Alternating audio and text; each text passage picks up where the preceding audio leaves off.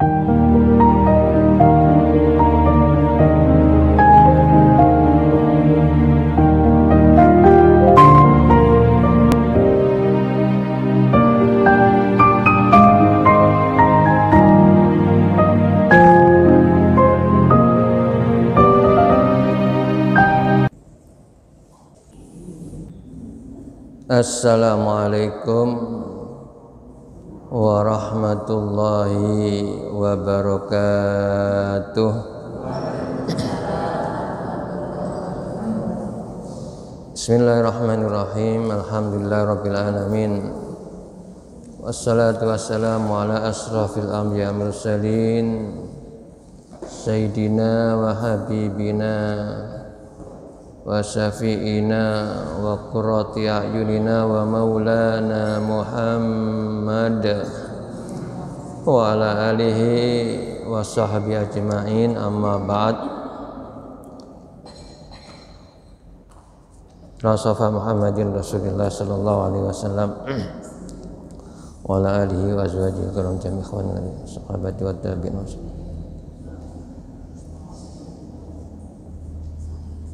نوصل هذا الكتاب. شاول الله لوم الفاتحة.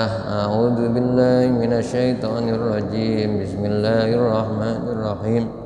الحمد لله رب العالمين. الرحمن الرحيم. مالك يوم الدين. إياك نعبد وإياك نستعين. اهدنا الصراط المستقيم. صراط الذين أنعمت عليهم غير المغضوب عليهم ولا الضالين. Jamaah mari kita teruskan supaya istiqomah ya, dalam kita ngaji. Bismillahirrahmanirrahim. Faslun fasal. Fil awqat til muhtarati lil qiraati. Waktu-waktu yang dipilih untuk membaca Al-Quran. Iklam ketahuilah anna afdalal kiroati bahwasanya afdalal kiroati lebih utamanya dalam baca Al-Quran itu maka nafis solati itu berada di dalam sholat. Ketahuilah bahwasanya sebaik-baik ya, seutama-utama membaca Al-Quran itu adalah pada waktu sholat, ya, jadi dalam sholat. Wa madhab syafi'i wa akharina rahimahumullah menurut madhab syafi'i dan yang lainnya rahimahumullah Semoga Allah mengampuni mereka. Anna tatwil al qiyami fi sholati bil qiraati afdhalu min tatwil sujudi wa ghairi anna tatwil al qiyami sholati anna bahwasanya tatwil al qiyam sholati memperpanjang berdiri dalam sholat bil qiraati dengan membaca Al-Quran itu afdalu lebih utama min tatwilis sujudi wa daripada panjangnya sujud dan yang lainnya. Menurut madhab syafi'i dan yang lainnya kita dalam sholat membaca surat lebih panjang berdiri berdiri panjang berdirinya lebih lama itu lebih utama daripada sujud. Dan orang itu yang sudah sujud lama ya. tapi berdirinya hanya sebentar baca al-kafirun saja dengan al-ikhlas nah menurut menurut madhab syafi'i dan yang lain-lainnya ya itu kebalik sebaiknya ya, yang utama itu adalah memperpanjang bacaan ketika berdiri pada waktu sholat setelah fatihah itu lebih utama daripada ya, memperpanjang sujud memperlama sujud dan yang lain-lainnya. Ini pendapat nih ya. Wa amal qiraatu fi ghairi sholati dan adapun membaca Al-Qur'an fi ghairi sholati di luar salat fa afdaluha maka utamanya adalah qiraatul lail membaca pada waktu malam. Wan nisful akhiru minhu afdalu minal awal. Wan nisful akhiru separuh malam yang akhir ya separuh yang akhir minhu dari malam separuh malam yang terakhir itu afdalu lebih utama minal awal daripada separuh yang pertama jadi berarti jam 12 ke atas itu lebih baik daripada sebelumnya. Wal qiraatu dan membaca Al-Qur'an bainal maghrib al isya di antara waktu maghrib dan isya itu mahbubatun disukai, disenangi. Ya, jadi banyak umat Islam itu yang mengamalkan baca Al-Quran di antara maghrib dan isya. Ya. Jadi di sini disebutkan mahbubatun, ya, disukai, disenangi.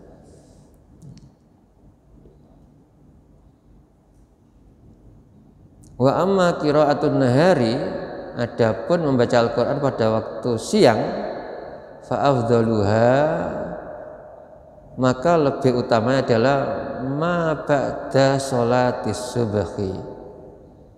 Itu membaca sesudah sholat subuh. Di subuh itu sudah rangkaian daripada siang. Di awal siang itu adalah waktu subuh jadi kalau membaca waktu siang itu utamanya adalah setelah sholat subuh. Wala karahatin fil qiraati fi waqtin minal awqat.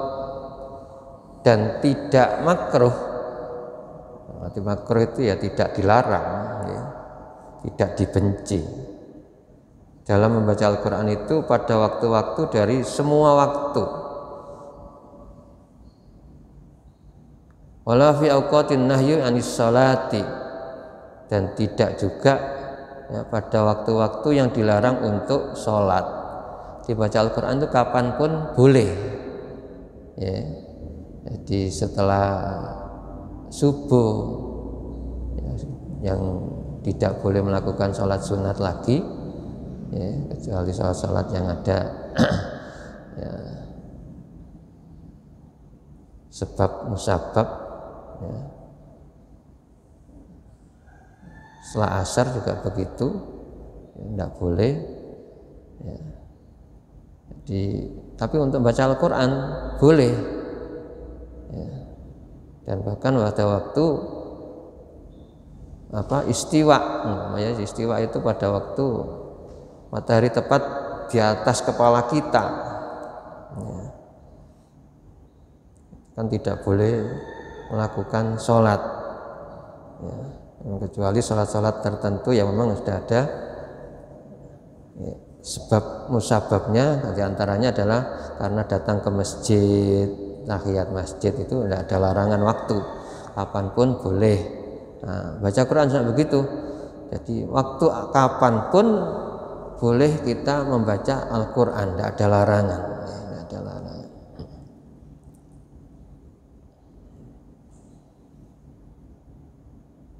dan menurut penelitian katanya membaca Al-Quran setelah sholat subuh itu bisa ya membuat akal pikiran itu ya, lebih jernih.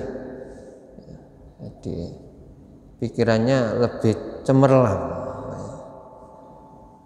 Jadi, ini yang biasa melakukan ya monggo setelah ngaji ya dengan iktikaf menunggu waktu isyraq ya, untuk membaca Al-Quran ya. kok pakai zikir yang lain? Monggo silahkan ya. Tapi ini keutamaan membaca Al-Quran itu di antaranya adalah setelah sholat subuh ya, setelah sholat subuh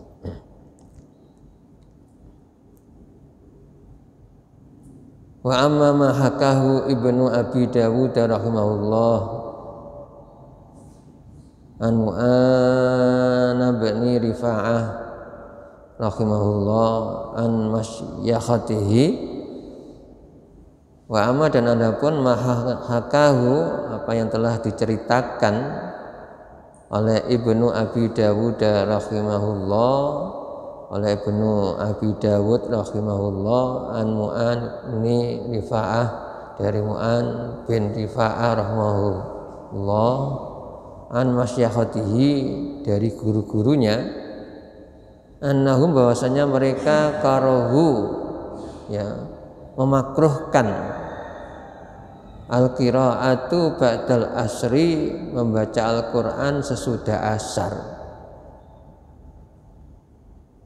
Di menurut Ibnu Abi Dawud rahimahullah itu menurut guru-gurunya membaca Al-Qur'an setelah asar itu makruh. Wakalu mereka mengatakan inna sesungguhnya membaca ya setelah asar itu satu Yahuda biasa dipakai oleh orang Yahudi belajar di belajarnya orang Yahudi sehingga tidak boleh menyamai menurut ya mereka fahiru makbulin wala aslalahu ya pendapat itu tidak bisa diterima dan tidak ada dasarnya. Ya. Jadi kalau ah, mendengar orang berpendapat baca Al-Quran setelah asar itu makro, di sini sebutkan fahiru makbulin wala aslalah. Walaupun itu dari Abi Dawud, ya, karena menyamai orang Yahudi itu makro, itu tidak ada dasar, ya, nah, tidak bisa diterima. Ya, jadi tetap baca Al-Quran itu boleh kapan saja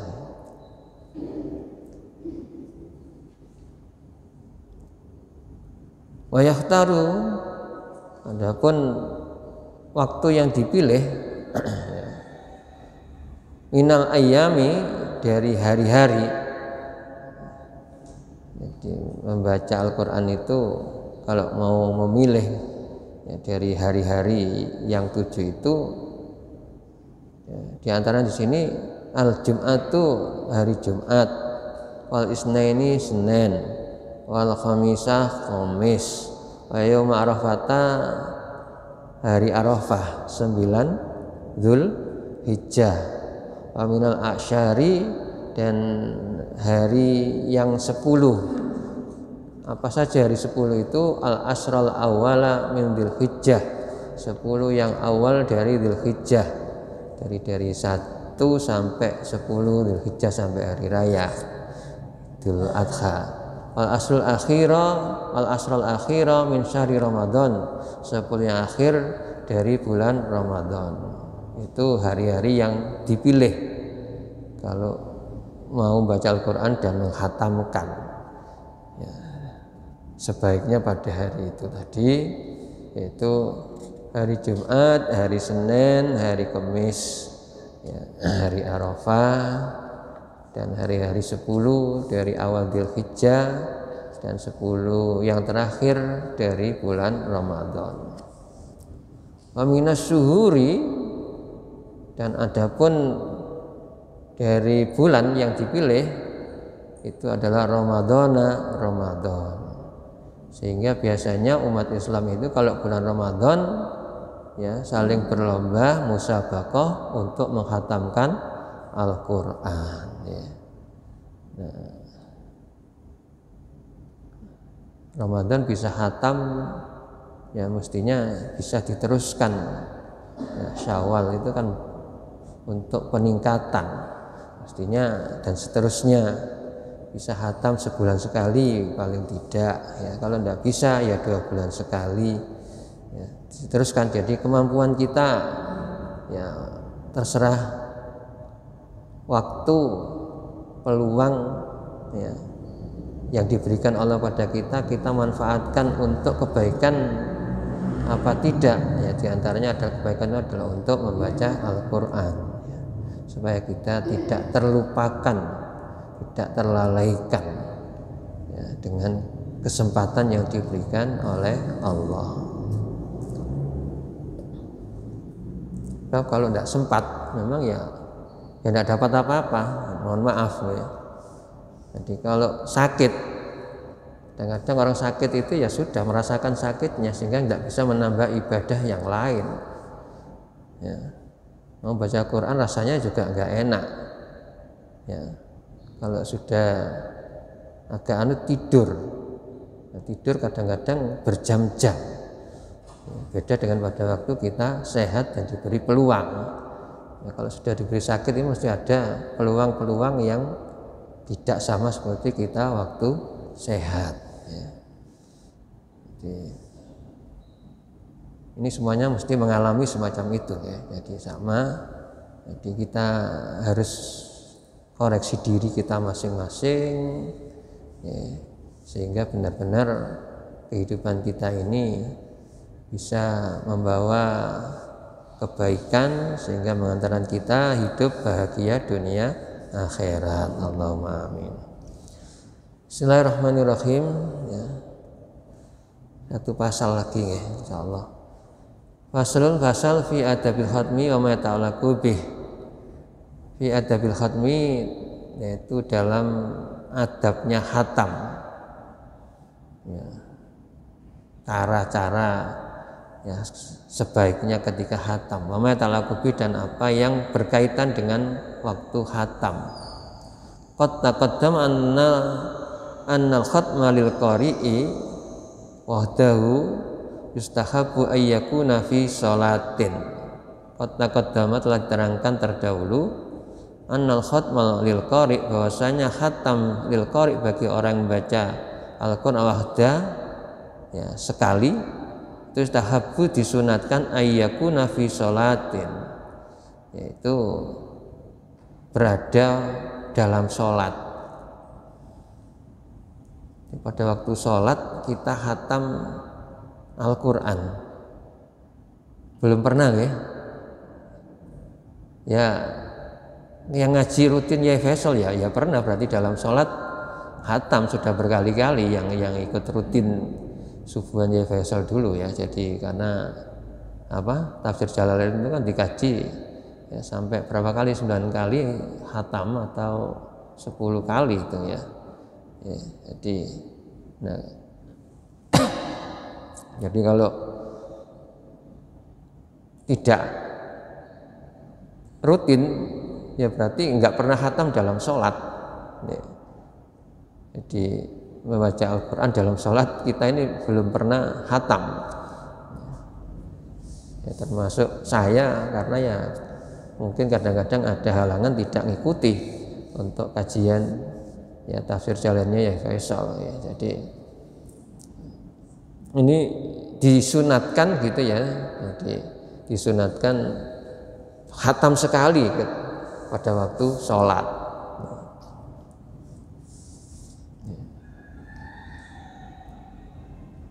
Wa amma dan adapun mayyahtimu fi ghairi salatin ya, orang yang menghatamkan di luar salat fi ghairi salatin wal jama'atu dan jamaah orang yang banyak alladzina yang mereka itu yahtimuna mustami'ina menghatamkan secara bareng-bareng kumpul.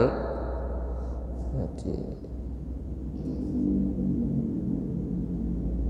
apa ya biasanya khataman itu ya khataman bareng-bareng itu ya. Di khataman bareng-bareng.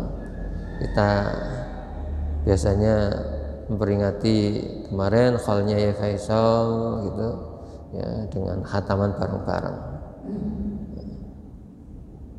Hayustahabbu maka disunatkannya ayyakuna khatmuhum fi awalil lail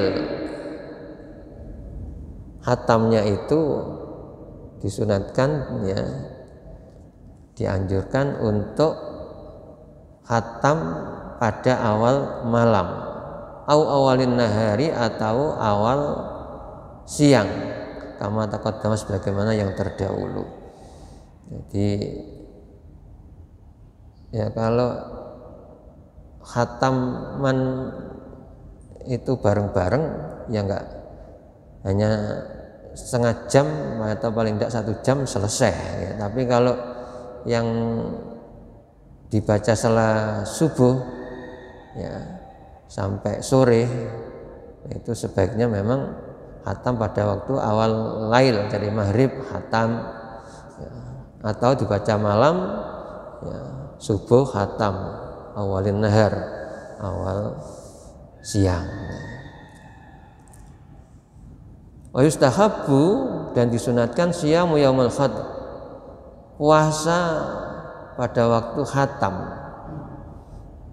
jadi orang-orang terdahulu salafus saleh itu kalau hatam kemudian puasa. Ya, jadi subuh hatam meneruskan diteruskan dengan puasa ya. Illa kecuali aisyatifa yauman nahyasyar ya. kecuali kalau memang ya, pas pada hari yang dilarang oleh syarat ansiami dari puasanya berarti ya tidak puasa sama pada hari tasrek ya. hatam pada akhir Ramadan nah besoknya kan nggak boleh puasa ya. Hatam pada waktu tanggal 9 Dzulhijjah ya besoknya nggak boleh puasa karena hari raya ya. atau ayam tasrek ya. jadi kalau tidak pada hari-hari yang terlarang as-salafus itu ketika hatam Al-Quran diteruskan ya disambung ya, dengan puasa.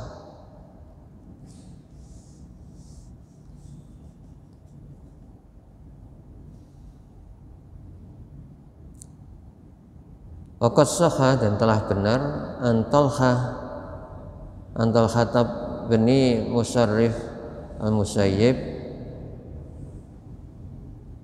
dari Talha bin Musarrif al Musayyib bin Rafi wa Khubaib bin Abi Sabit At-Tabi'in Al-Kufain.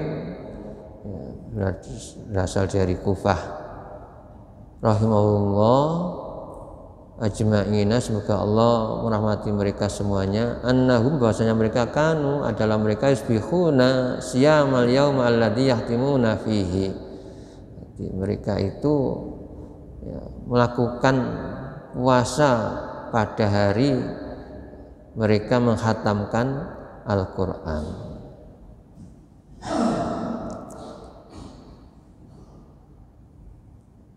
Ustahabu dan disunatkan hudur majlisul khatmi hadir pada majlis khataman liman bagi orang yakra'u yang bisa membaca Al-Quran waliman la yuhsinul qira'at walaupun juga bagi orang yang tidak baik bacaannya.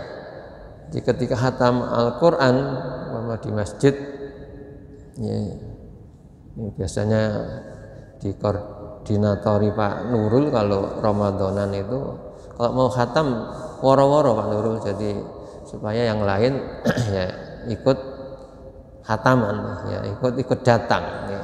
jadi jadi diusahakan begitu. Ya yang lain yang yang mungkin ada di luar masjid ya di wilayah masjid sini maksudnya. Ya kalau mau khatam ya diomongi ya nanti kita khatam ya satu kali khatam dua kali mungkin kalau puasa itu bisa ya empat kali ya. tergantung yang membaca ya. itu dia sunatkan untuk hadir baik orang yang bisa membaca Al-Quran bacaannya baik maupun bacaannya yang tidak baik ya, jangan sampai merasa aku belum bisa membaca baik Al-Quran nggak mau ikut hataman. Fakat rawai nafisahain dan telah kami lihatkan dalam ya, kitab Sahih Bukhari Muslim an Rasulullah sallallahu alaihi wasallam Rasulullah sallallahu amara al-khuyaidah bil khuruji yaumal id. Rasulullah memerintahkan al khuyaidah bagi perempuan-perempuan yang sedang haid bil khuruji untuk keluar yaumal id pada hari raya. Jadi ikut menghadiri ya sholat tapi tidak sholat ya. jadi memerintahkan Rasulullah memerintahkan kepada ya, perempuan-perempuan yang sedang haid ya untuk keluar menghadiri yaumul id jadi ya, untuk untuk ya melakukan ya fayasyaduna itu dilakukan adalah untuk menyaksikan al khaira kebaikan. Bahwa hari raya itu hari yang baik. Hanya harus bersenang-senang bareng-bareng. Ya jadi walaupun tidak ikut sholat ya hadir. Ya. wadal muslimin dan itu merupakan kebaikan dari doanya orang-orang Islam. Diambil doanya khotib ya jadi mengamini boleh sholatnya yang tidak boleh mendengarkan khotbahnya ya dan mengamini doanya boleh itu yang diambil ya yang diambil manfaatnya ya supaya umat Islam itu kelihatan benar-benar ya besar dan Islam itu syiar benar ya sehingga ya daerah kita itu benar-benar kelihatan kalau muslim daerah yang islami ya.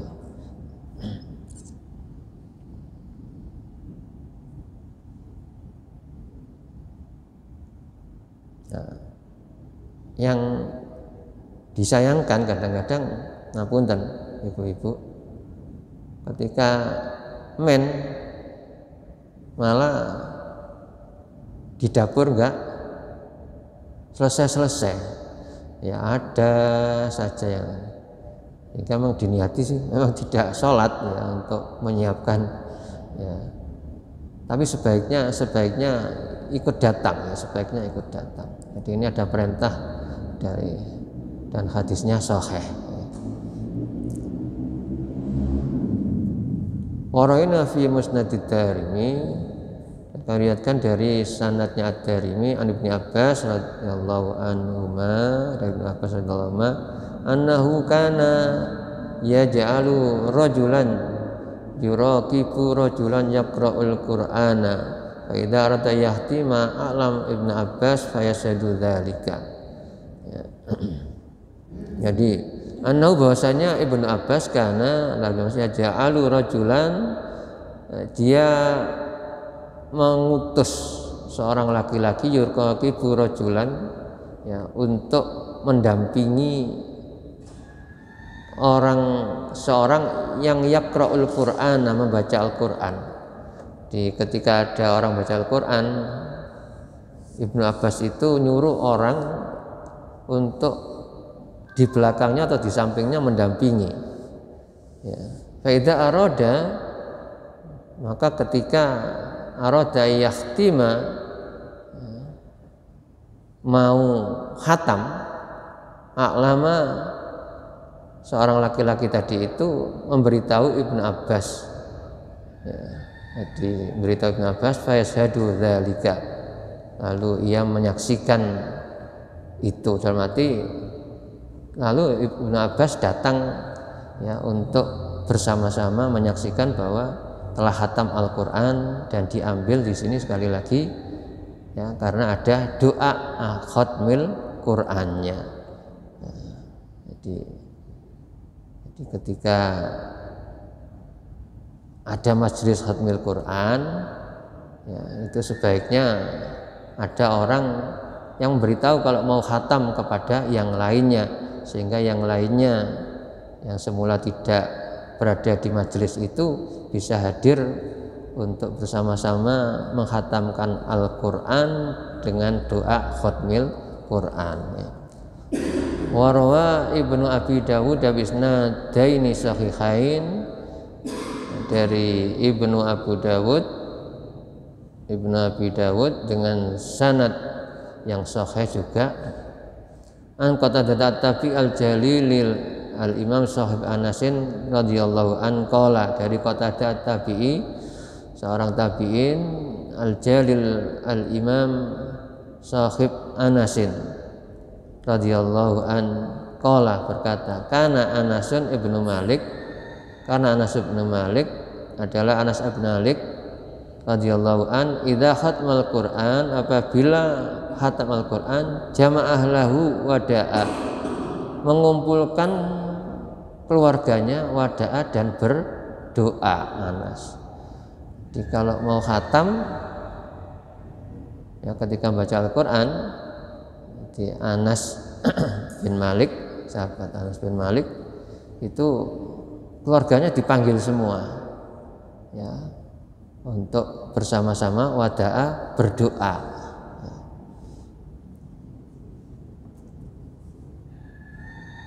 Warawaina biasani tasahihatin anil hakami bin Utaibah kita musannati fauq summa musannat tahti sumal ba'al muakhita at-tabi al-jalil al-imam ya. Qala arsala ila mujahid wa abdatu ibnu abi babata lubabata faqala inna arsalna ilaika li anna aradna an nahtimal qur'ana. Jadi mengutus kepadaku mujahid wa abdah bin Abi Lubaba Fakolah dua-duanya berkata Inna sesungguhnya kami arsalna meng, kami mengutus ilaika kepadamu.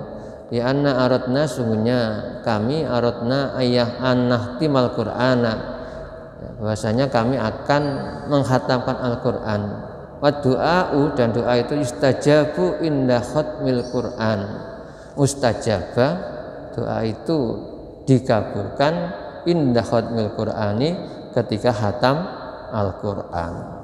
Hibadi riwayatihi as-sahihah dalam riwayat sebagian riwayat yang lain yang juga sahih wa annahu kana yuqalu inna rahmata anzilu inda khatimatil qur'ani. Dikatakan inna rahmata sungguhnya rahmat Allah itu tanzilu turun inda khatimatil qur'an ketika hatam Al-Qur'an. Wa rawa bi isnadi sahihi an mujahid qala kan tamiuna inna khatmil quran yaquluna yanzilur rahmah. Dari sanad yang sahih juga dari mujahid berkata kanu mereka asalafus saleh itu yajtamiuna berkumpul inda khatmil Quran ketika hatam Al-Quran yakuluna mereka mengucapkan mengatakan tanzilur rahmah turunnya rahmat Allah. Jadi ini jamaah yang perlu ya kita perbaiki ya maksud saya gitu ya itu kita amalkan sehingga kalau kita hatam Al-Quran di rumah ya diundang keluarganya, anaknya, cucunya ya diajak untuk doa bareng-bareng. Karena doa pada hatam Al-Quran itu yustajabu ya, dikabulkan doanya. Dan pada waktu itu juga tanzilur rahmah turunnya rahmat Allah ya. jadi jangan apa istilahnya jak dipek dewe gitu ya gitu ya. Jadi ya, juga yang lainnya diberi. Nah kalau di masjid di musola nah jamaah yang lain juga diberitahu. Yang mau ya yang nggak mau ya nggak usah dipaksa. Jadi ini kebaikan kita di dalam membaca Al-Quran dan hatam Al-Quran. Ya moga-moga manfaat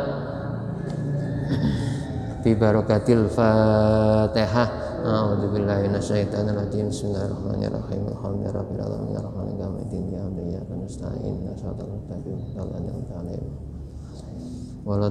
Salli wa sallim wa barik alhamdulillahi rabbil alamin. Allahumma anfa'na bima 'allamtana wa 'allimna yanfa'una warzuqna ilman nafi'ah اللهم اغفر لنا ذنوبنا ولوالدينا وارحمهما كما ربيانا صغارا ربنا هب لنا من أزواجنا وذرياتنا قرة أعين واجعلنا للمتقين إماما اللهم بارك لنا في رجب وشعبان وبلغنا رمضان اللهم طول أعمارنا بالصحة والعافية اللهم نسألك حسن الخاتمة ونعوذ بك من سوء الخاتمة ربنا آتنا في الدنيا حسنة في الآخرة حسنة وقنا عذاب النار وصلى الله على محمد الحمد لله رب العالمين ببركة الفاتحة السلام عليكم ورحمة الله وبركاته Assalamualaikum warahmatullahi wabarakatuh